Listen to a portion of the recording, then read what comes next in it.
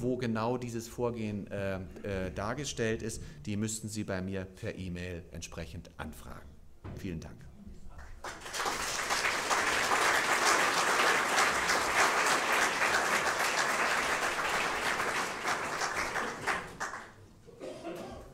Sie finden das sonst alles auch im Internet. Also wenn Sie jetzt nicht da mitkommen, dann geben Sie ein Georg und Markmann und dann finden Sie meine Internetseite auch.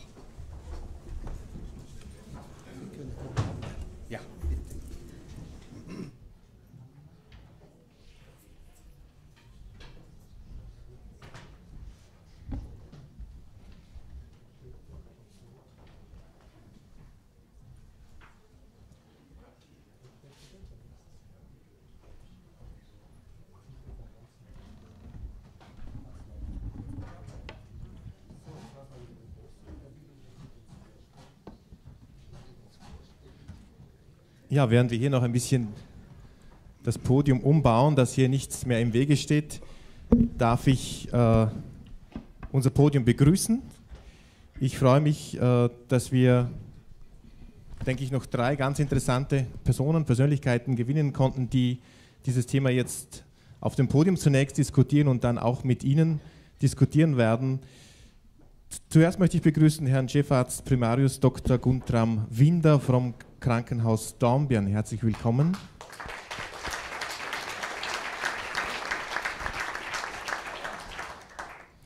Dann begrüße ich herzlich die Pflegedienstleiterin, äh, Diplom-Krankenschwester Anna Frick von der Palliativstation des Landeskrankenhaus Hohenems.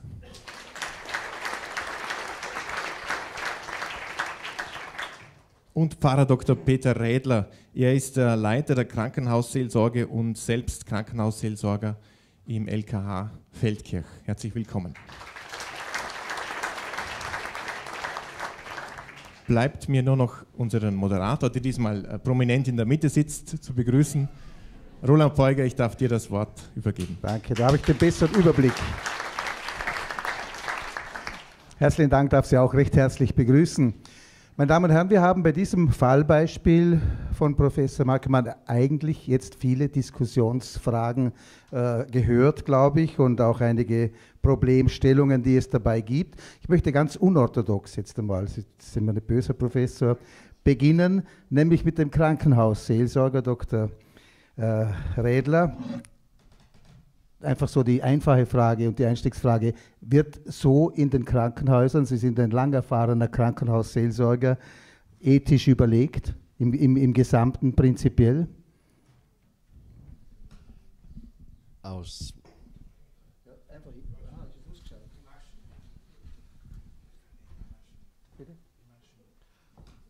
Aus meiner Wahrnehmung spielen die genannten ethischen Prinzipien in den Entscheidungsüberlegungen sicher eine Rolle. In dieser Art strukturiert und moderiert äh, ist die Entscheidungsfindung in unseren Häusern noch am Anfang. Es gibt Ansätze dafür. Mhm. Und, ja, und ja, natürlich ist jetzt der Mediziner besonders angesprochen, Herr Dr. Winder. Ist das überhaupt möglich im Alltagsbetrieb, so strukturiert, so äh, die Fälle, es wird, wird, ja nicht, oft sind ja mehrere Fälle gleichzeitig, die man da hat, zu überlegen oder wo liegen da für Sie die positive oder die negative? Also möglich ist es sicher, man braucht dazu Ressourcen. Wir kennen die Gespräche im Alltag, dass, wie bei dem Beispiel aufgebaut, eine Patientin nicht ansprechbar ist, nur der mutmaßliche Wille bekannt ist. Wir sind dabei, ethische Fallbesprechungen aufzubauen im Krankenhaus, aber so klar durchstrukturiert finden sie derzeit noch nicht statt. Aber die Diskussionen sind Alltag bei uns. Ich möchte immer ganz gerne die Praxis bei uns äh, natürlich ansprechen und da sind die Pflegenden offensichtlich auch immer sehr stark gefordert. Frau Frick, werden die Pflegenden ich sage jetzt einfach die Pflegenden, damit ich nicht immer Pflegerin und Mann und Frau unterscheiden muss, äh, werden die auch einbezogen, wenn es zu verschiedensten äh, so äh, Fällen kommt? Gut, Sie sind in der Palliativstation, dort hat man mit dem Tod unmittelbar sehr oft zu tun, um es so auszudrücken. Wird man eingebunden oder wird man so als, ja, so nebenbei noch ein bisschen benützt, unter Anführungszeichen? Also benutzt und benutzt und so Mitläufer sind wir nicht. Ich glaube, die Palliativarbeit ist eine ganz spezielle Arbeit. Sie lebt von, vom multiprofessionellen Team. Und ähm, jemanden nicht zu hören aus einem multiprofessionellen Team wäre fast nicht möglich. Zudem sind, sind wir sehr formiert. Äh, wir sind diejenigen, die ganz viel am Patient und mit den Angehörigen arbeiten und ähm, sehr viel Zeit mit ihnen verbringen und ein Stück weit äh, kann man uns fast nicht überhören. Gott sei Dank. Aber ich muss auch sagen, so ganz strukturiert, so angeführt als Moderator leben wir es nicht, aber es ist bei unseren Patienten bei sehr vielen Entscheidungen so das Raster durch. Also das wird gelebt. Was natürlich eine Zeitfrage ist, manches Mal ist es einfach eine Frage der Zeit, in dem Patienten kommen von anderen Abteilungen, ein riesen medizinisches Bündel und pflegerisches und der Patient verschlechtert sich in den ersten Tagen. So, man ist nicht fähig, so eine Entscheidung innerhalb dieser Tage zu treffen. Also es braucht einfach auch eine gewisse Vorlaufzeit, um solche Dinge überhaupt zu leben. Und da sind wir dann manchmal auch in der Sackgasse. Aber ich glaube, wenn Patienten länger auf Abteilung sind, dann können wir das sehr wohl durchstrukturieren und pflegen und leben auch. Das ist wichtiger Alltag bei uns. Ja, wir fassen also zusammen, es gibt Ansätze in unseren Spitälern, dass man diese strukturellen ethischen Überlegungen in konkreten Fällen macht. Und man wird sich auch darum bemühen, da sind wir überzeugt, aber äh, Herr Dr. Winder, wo liegt dann aber die Grenze in der Entscheidung, gerade für den Mediziner, der dann sagt, also es ist doch der, der, der mutmaßliche Wille des Sterbens zum Beispiel hier, also machen wir dann nichts mehr, sage ich, ich rede jetzt immer ganz einfach, ich bin auch nicht medizinisch gebildet. Und wo liegt da die Grenze, wo Sie dann sagen oder einmal sagen müssen, nein, also hier ist es viel vernünftiger, den Patienten sterben zu lassen oder es ist vernünftiger, ihn eben sein Leben zu verlängern? Also nichts tun ist sehr provokativ. Das gibt es nicht. Also es gibt Therapieabbruch, es gibt aber auch Therapiereduktion. Also das klingt sehr provokativ, Therapieabbruch. Das machen wir nicht. Das heißt nicht, wenn man sich entscheidet, Therapierückzug, Therapiebeendigung, dass wir die Hände in den Schoß legen. Dann ist Palliativmedizin angesagt. Bei diesen Diskussionen, was man beachten muss, wenn man jetzt wirklich entscheidet, Therapierückzug ja, Wer entscheidet das denn schlussendlich? Und meiner Meinung nach entscheidet das der behandelnde Arzt.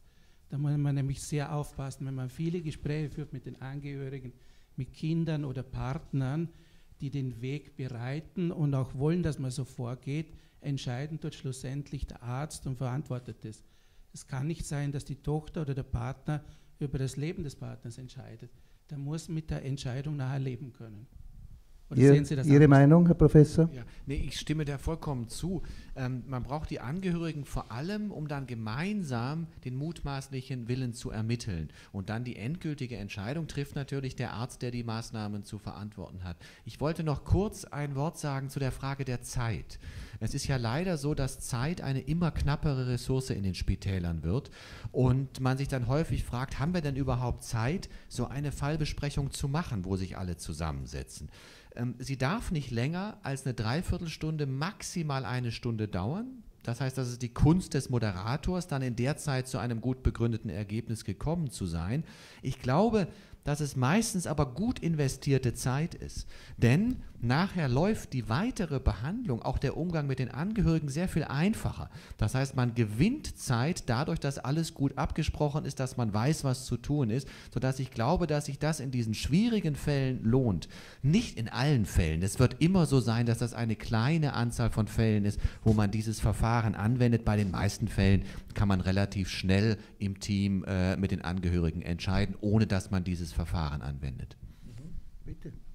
Das braucht sehr viel Zeit und die lohnt sich auch die Zeit. Und was die wenigsten wissen, der Vater hier in diesem Beispiel hat eigentlich rechtlich überhaupt nichts zu sagen.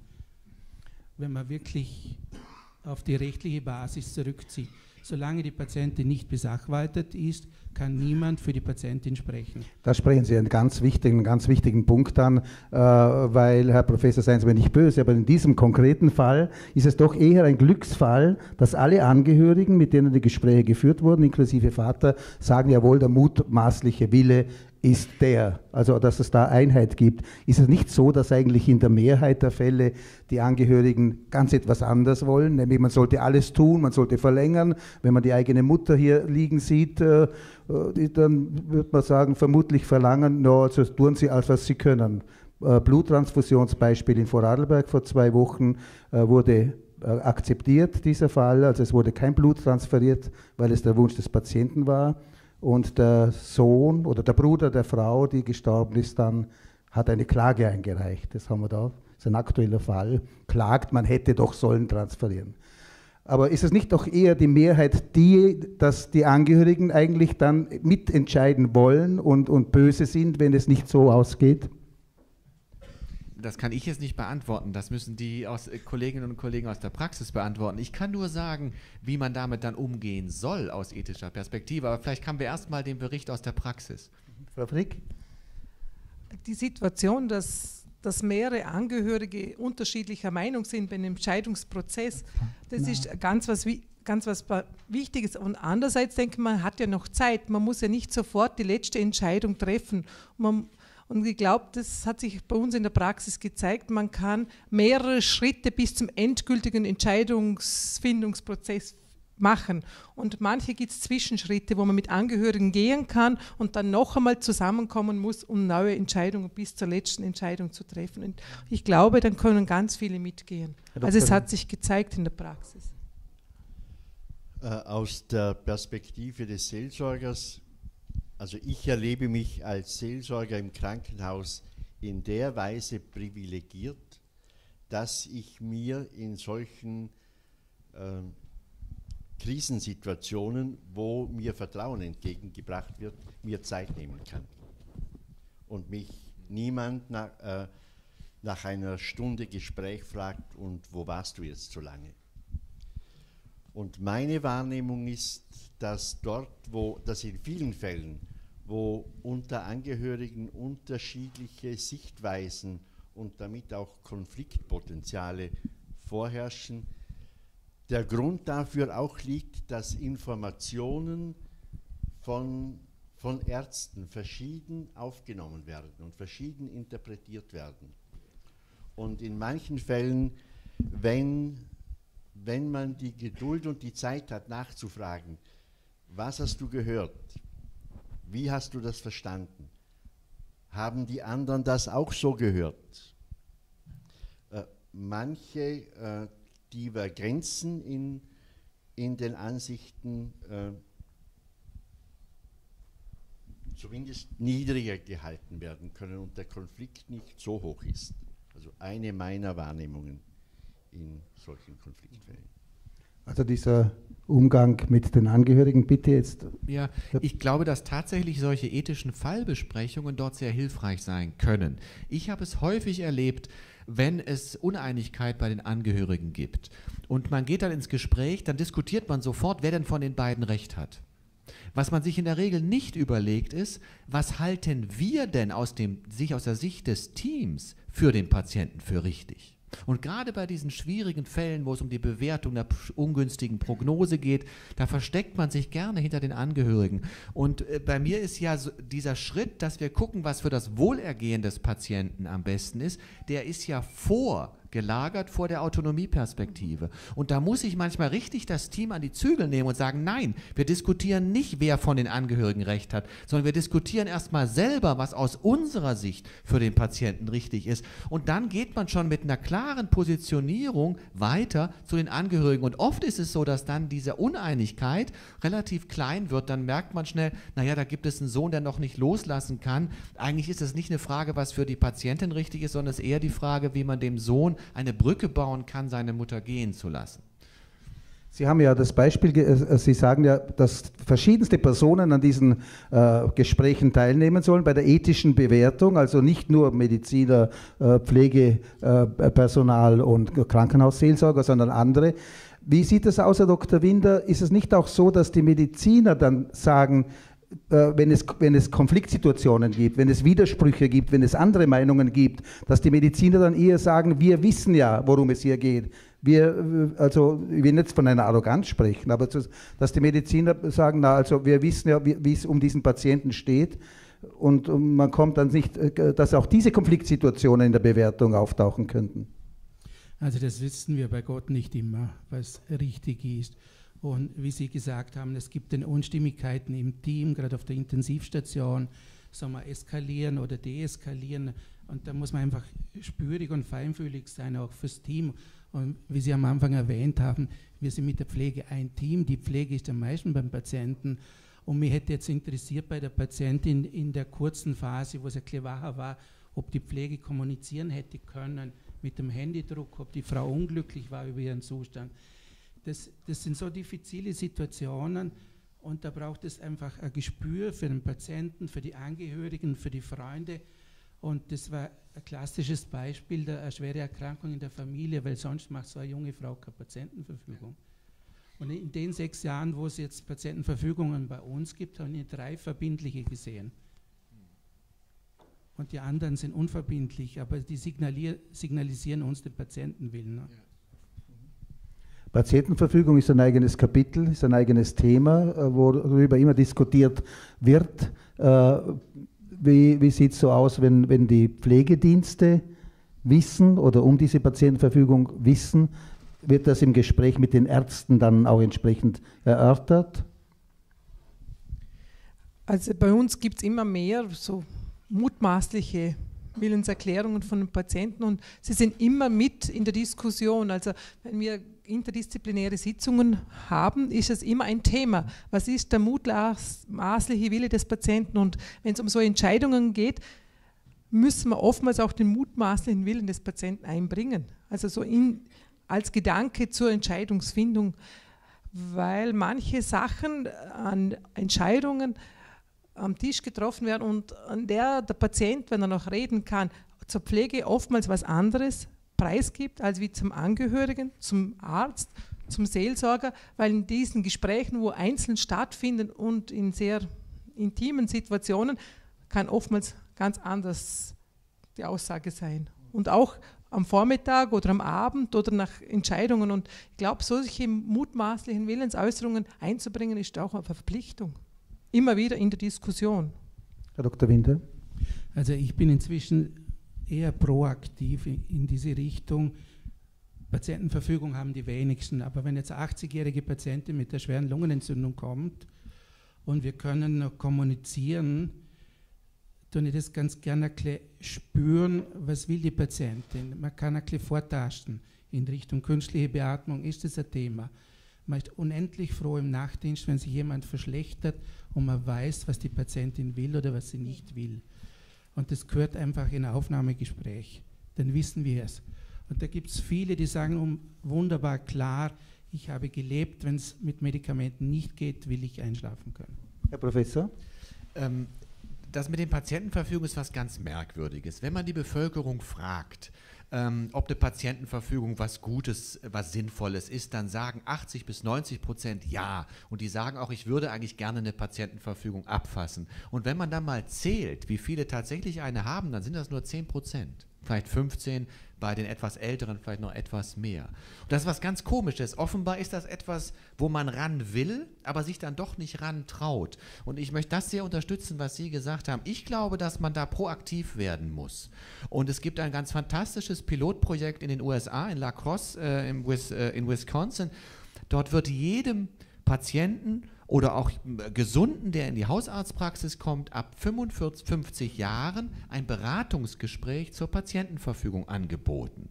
Mit noch einem Wiederholungsgespräch und am Ende wird gemeinsam dann so eine Patientenverfügung abgefasst. Und dort ist es inzwischen so, dass man bei 98 Prozent der Versterbenden einen schriftlich vorausverfügten Willen hat. Und da kann man natürlich sagen, naja, die Menschen, die wollen das alles gar nicht. Wir haben ein ähnliches Projekt in Grevenbruch gemacht und die Menschen sind so dankbar, wenn man sie äh, wenn man ihnen hilft, wenn man das Gespräch anbietet im Rahmen einer aufsuchenden Beratung. Also ich glaube, da müssen wir einfach mehr äh, tun, weil die Menschen, die sagen, eigentlich müsste ich mich damit beschäftigen, ich will irgendwie auch, aber wie mache ich das denn, wenn mir niemand hilft, über diese verschiedenen medizinischen Situationen und auch die Behandlungsoptionen nachzudenken. Also ich glaube, da ist noch viel zu tun, sozusagen diesseits der gesetzlichen Regulierung. Herr Dr. Redler, die Krankenhausseelsorge ist eigentlich eine äh, freiwillige Angelegenheit, wenn ich so ausdrücken darf, in Vorarlberg. Also es ist keine Verpflichtung, glaube ich, vom Land, dass es eine diese braucht. Dankbarerweise gibt es diese äh, Möglichkeiten. Ich, ich, ich sage es deswegen so provokant, weil ich dann frage, wie wird die Krankenhausseelsorge dann auch beigezogen? Äh, muss man sich ein bisschen hineinreklamieren, weil man ja den Patienten auch kennt und mit ihm auch spricht, weil er vielleicht auch dem Krankenhausseelsorger die intimen Wünsche äußert und so weiter? Oder wird er automatisch beigezogen in, in den Fällen? Es geht ja um ethische und um moralische äh, Fragen. Äh, Sie, du sagst mit Recht, äh, die Krankenhausseelsorge oder die Krankenhausseelsorgerinnen und Seelsorger sind die Personen im Krankenhaus, zu denen jeder sagen kann, nein, danke. Darum frage ich ja. ja. es liegt an der Art, so meine Erfahrung, wie sich Seelsorgerinnen und Seelsorger auf ihren Stationen einbringen, so dass sie auch beim ärztlichen und pflegerischen Personal Vertrauen, Vertrauen gewinnen und in der Art, wie sie äh, mit den betroffenen Frauen und Männern, mit den Kranken kommunizieren, auch äh, dort das Vertrauen gewinnen und dann werden wir in solche Entscheidungen mit eingebunden Immer unter der Voraussetzung, dass immer jeder sagen kann, äh, mit der Seelsorge möchte ich keinen Kontakt. Kommt es vor? In dieser eindeutigen Form habe ich es noch nie gehört. Ich habe zögerliche Antworten gehört und dann, dann mache ich auch deutlich, also dass mir niemand etwas zuliebe tut äh, oder mir zuliebe muss niemand Ja sagen und sagen, ja, dann, dann soll er halt mit dabei sein. Okay, wir haben noch, so ein. Ja, bitte, Professor. ich glaube, dass die ähm, Seelsorge eine ganz wichtige Rolle spielen kann, wenn man solche ethischen Fallbesprechungen etablieren möchte. Man, wir brauchen die Seelsorge nicht nur im Einzelfall, weil sie ganz wichtige, auch anders gelagerte Informationen liefern können, sondern nach meiner Erfahrung ist es ganz oft so, dass die Seelsorge ganz wesentlich mit so eine Entwicklung trägt. Weil man darf ja nicht vergessen, im Fragen von Ethik und Moral sind die Seelsorger in der Regel am besten ausgebildet. Es sei denn, jemand aus dem Gesundheitsbereich hat ein Zusatzstudium. Und das ist eine wichtige Kompetenz. Das zweite ist die Unabhängigkeit. Sie sind oft nicht so in diesem klassischen Konfliktkonstellation zwischen Pflege und Ärzten mit drin. Und sie haben das, ich weiß nicht, widersprechen Sie mir vielleicht, eher mal die Möglichkeit, sich etwas Zeit rauszuschneiden, um dann so eine Entwicklung, ein Ethikkomitee oder ethische Fallbesprechungen mit auf den Weg zu bringen. Und ich kenne viele Komitees, die stehen und fallen mit der Mitarbeiterseelsorge. Ich kann also auf einer Abteilung in, in unserem Haus genau diese Erfahrung bestätigen. Also wir haben dort, wir nennen das jetzt nicht Ethikkomitee, äh, wir nennen also ein ethisches Konzil, wo es um Behandlungs- oder um die Art, wie Behandlung weitergeführt wird. Äh, wir nennen das runden Tisch. Und äh, im Normalfall sind äh, bei diesem runden Tisch der, äh, der Patient oder die Patientin, die äußerungsfähig sind, die Angehörigen, die der Patient wählt und mit dabei haben will, äh, der verantwortliche Arzt, äh, die Pflegeperson und im Normalfall, wo das also nicht abgelehnt wird, übernehme ich die Moderation. Und also mein, mein Fokus ist darauf zu schauen, dass das, was gesagt wird, von allen in gleicher Weise verstanden wird. Das und, und wir sprechen bei diesem runden Tisch auch die Frage an, also ich sage es in einem Beispiel. Der Arzt sagt, ich bin nicht davor gefeit, dass ich im nächsten Augenblick eine Kreislaufattacke habe und der ganze Notfallapparat hier aufkreuzt. Sollte bei Ihnen das auch der Fall sein? Möchten Sie das auch? Und in dieser Form habe ich bisher sowohl von Patienten wie von Angehörigen im Anschluss an solche Gespräche nur dankbare Erleichterung gehört. Endlich ist diese Frage in Klarheit ausgesprochen. Also der runde Tisch am LKH in äh, Feldkirche in der Urologie, glaube ich, gell? Ja. Ja, okay. Äh, meine Damen und Herren, gesellschaftspolitischer Stammtisch heißt, dass wir Stammtisch haben, heißt, dass, der, dass natürlich Ihre Meinungen zu diesem Thema, Ihre Meinungen sehr interessant sind und auch gefragt sind. Wir gehen gleich ins Publikum. Wir haben so jetzt ein bisschen kreuz und quer einige Dinge angeschnitten. Ich bin überzeugt, dass es noch viele Fragen gibt, die zu diesem Fallbeispiel, aber viele Fragen gibt, die noch offen sind. Wer möchte beginnen? Wenn Sie nur bitte den Namen dann nennen, ein Handzeichen genügt und ich schaue, dass ich Sie äh, mit dem Mik der Dr. Wilhelm hat das Mikrofon oder jemand? kommt dann zu Ihnen. Wer möchte beginnen? Meinung, Fragen, bitte da vorne. Jetzt ein bisschen warten, bis das Mikrofon kommt. Und immer ganz nah zum Mikro. Gerhard Heffele, ich arbeite selber im Krankenhaus, Seelsorge. Was mich noch interessieren würde, bei diesen strukturierten ethischen Besprechungen sind hier Angehörige und Patienten mit dabei? Erste Frage. Und zweite Frage, Sie haben viel von Interdisziplinarität gesprochen, ich würde noch von Interprofessionalität sprechen. Ist das sozusagen das Sahnehäubchen über das Ganze oder gehört es zu einer guten ethischen Fallbesprechung dazu? Absolut. Ja, ähm, vielen Dank äh, für diese Präzisierung, es ist interdisziplinär und interprofessionell. Also die verschiedenen Berufsgruppen und die verschiedenen medizinischen Disziplinen müssen dabei sein. Und das ist notwendig so. Also wenn man einzelne Berufsgruppen, einzelne Disziplinen, die, um, die sich um den Patienten kümmern, nicht mit einbezieht, dann bringt die ganze Fallbesprechung nichts. Ähm, die erste Frage ist eine sehr interessante. Wie ist das mit den Patienten und den Angehörigen? Offenbar nehmen Sie die ja alle gleich von Anfang an mit dazu. Ähm, ich mache es in der Regel so, dass wir das zunächst intern im Team besprechen damit wir ganz offen alle Kontroversen, alle Zweifel, die wir haben bezüglich der Behandlungsmöglichkeiten, ganz offen im Team aussprechen können und im besten Falle eine Einigkeit im Team bekommen. Und wenn es dann wichtig ist, die Angehörigen zu hören, weil die unterschiedliche Auffassungen haben oder wir noch nicht alles wissen, dann kommen in der zweiten Runde direkt im Anschluss die Angehörigen dazu. Ähm, Patienten haben wir ganz selten dabei gehabt, was zum einen daran liegt, dass die meisten Patienten, über die dann solche ethischen Fallbesprechungen gemacht werden, sie nicht mehr entscheidungsfähig sind.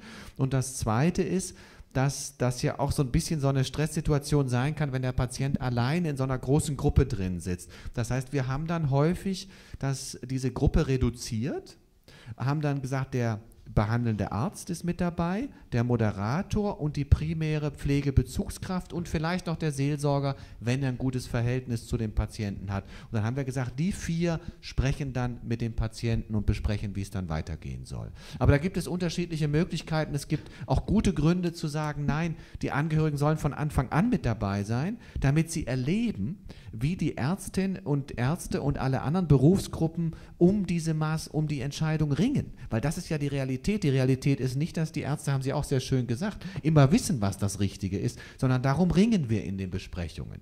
Aber ich hätte so ein bisschen Angst, dass man das nicht ganz offen machen kann, äh, vor allem wenn es unterschiedliche Auffassungen im Team gibt. Wenn das Team sich einig ist und man das Gefühl hat, man muss das nur alles nochmal ähm, sachlich ausbreiten, kann man auch die Angehörigen direkt dazu nehmen.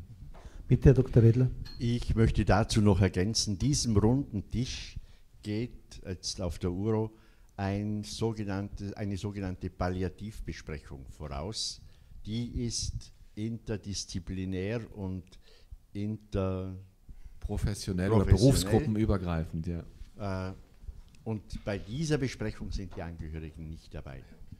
Okay, weitere Meldungen, weitere Meinungen, Ihre Erfahrungen vielleicht auch aus Ihrem Beruf oder etwas, das Sie innerlich plagt. Sie können auch ganz einfache Fragen stellen, wenn es jetzt ein bisschen geschwollen klungen hat. Bitte. Ich habe jetzt eine ganz einfache Frage. Ich möchte nur nachfragen. Hört man mich? Okay. Bitte. Ich möchte nur nachfragen, ob ich das richtig verstanden habe. Also die letzte Entscheidung über lebenserhaltende Maßnahmen trifft der Arzt und nicht die Angehörigen. Ja. Nachdem er ein Konsent gefunden hat wenn so Prozesse abgelaufen sind, wenn man sich einig ist, die letzte Verantwortung trägt der Arzt. das kann man einem Sohn, einem Lebenspartner nicht aufbürden. Und das wird bei uns auch klar so kommuniziert. Wir sind jetzt gemeinsam zu dem Entschluss gekommen, aber die Verantwortung für die Reduktion der Therapiemaßnahmen trage ich. Da mhm. habe ich andere Erfahrungen gemacht, deshalb frage ich auch nach. Praktische Erfahrungen. Ja, ja. Oder sagen wir so, wir, oder also ich und die Familie, wir haben das Gefühl, bei uns ist gerade jetzt aktuell, dass wir die letzte Entscheidung haben. Und nicht treffen, treffen wollen oder treffen dass müssen? Dass wir sie haben, müssen, haben, dürfen. Das ist nicht gut so. Nein, es ist nicht, ja. Mhm. Okay, das ist sehr, danke Ihnen sehr. Ganz eine wichtige Meldung. Dass es den Angehörigen zugeschoben wird letzten Endes. Und das ist dann ungut einfach. Guten Abend, mein Name ist Bachmeier, Leiter von der IFS Patienten äh, Sachwalterschaft. Ähm, unsere Erfahrung ist auch die, dass die Frage bei solchen lebensverlängernden Maßnahmen oft dem Sachwalter oder Angehörigen zugeschoben wird, so wirklich mit der Frage, was, Sie müssen jetzt sagen, Sie müssen entscheiden. Äh, und ganz selten formulieren die Ärzte auch die Frage, was hätte denn der Patient wollen? Also rechtlich, ich bin Jurist, ich bin nicht Dialoge, äh, sage ich auch, es zählt der Patientenwille, wenn ich den erforschen kann. Und um diese Frage müssen sich alle Fragen rundherum drehen. Und ich erlebe das ganz häufig bei unseren Klientinnen, aber auch gerade bei einer ähm, Mitarbeiterin, wo der Vater im Sterben gelegen ist. Die Ärzte haben gefragt, wie wollen Sie entscheiden? Was werden Sie tun? Was sollen wir tun? Und diese Frage, dass der Vertreter, der Angehörige sagen muss, was der Arzt tun soll, die ist wirklich unzulässig was hätte der Patient wollen? Natürlich, das können die Angehörigen entscheiden, aber nicht, was man tun soll. Und diese Frage wird ständig gestellt. Und wir haben seitenweise Protokolle. Und das Zweite ist, wenn äh, ein Patient verlegt wird vom Altersheim ins Krankenhaus, ins Altersheim, ins nächste Krankenhaus, Krise, Notarzt und so weiter, gehen alle Informationen, alles, was man sich vorher ausgemacht hat, schon zurechtgelegt hat, oft verloren. Und unsere Berufserfahrung ist dann, dann ruft man ständig den Sachwalter an. Was sollen wir tun? Ähm, was sollen wir tun?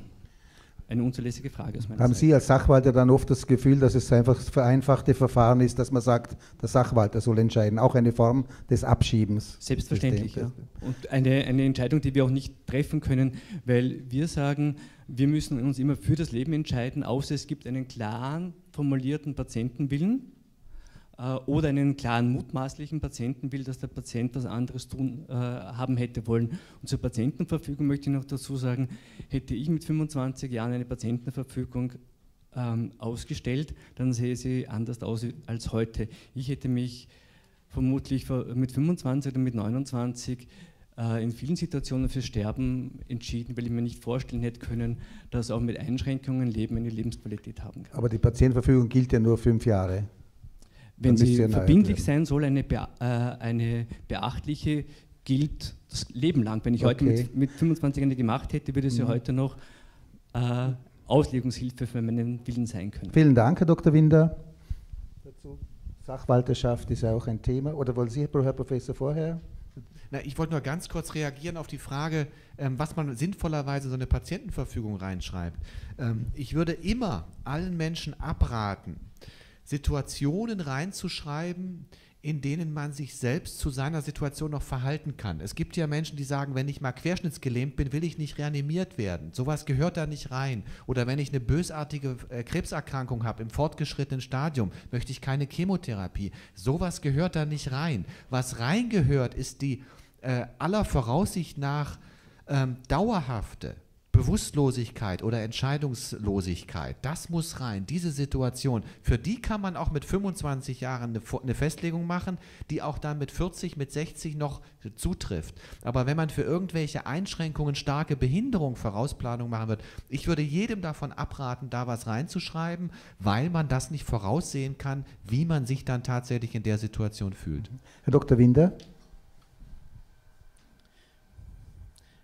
Das Gesetz gibt es jetzt sechs Jahre und, und, seitdem habe ich drei verbindliche gesehen. Und verbindlich heißt, wenn man die in der Hand hat, wenn man die vorzeigt, müssen sich die Ärzte an die Anordnung handeln, halten. Und in eine verbindliche muss man hineinschreiben, was man nicht will. Nicht, was man will, sondern was man nicht will. Und man muss präzise die Situation voraussagen, die dann später auch eintreten wird. Also ganz allgemein formulieren kann man das nicht.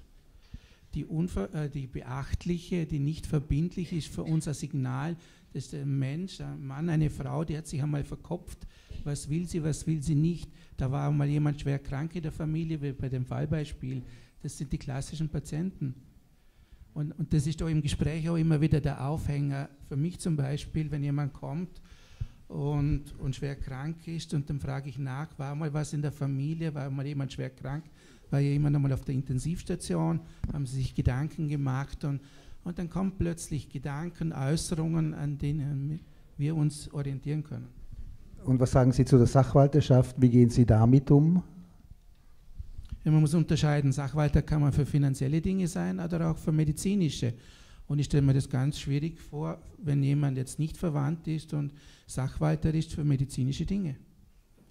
Also schlussendlich landet es meistens bei uns dann die Verantwortung. Aber das ist nicht negativ gemeint. Ja, Augenblick, Herr Dr. Redler. Während des Gespräches jetzt äh, wird mir auch eine Beobachtung bewusst. Wir reden hier über äh, Entscheidungen, Therapieentscheidungen im Krankenhaus. Ich vermute, die, das Nachdenken, das Sprechen und das Handeln müsste auch in Pflege- und Altersheime äh, übergreifen. Es ist, äh, oder die Situation, dass aus Hilflosigkeit oder nicht entscheiden wollen, nicht entscheiden können, die, ich sage jetzt etwas pauschal, die 95-jährige Patientin notfallmäßig vom Pflegeheim auf die Intensivstation gebracht wird und dann soll dort entschieden werden, äh, was tut man jetzt?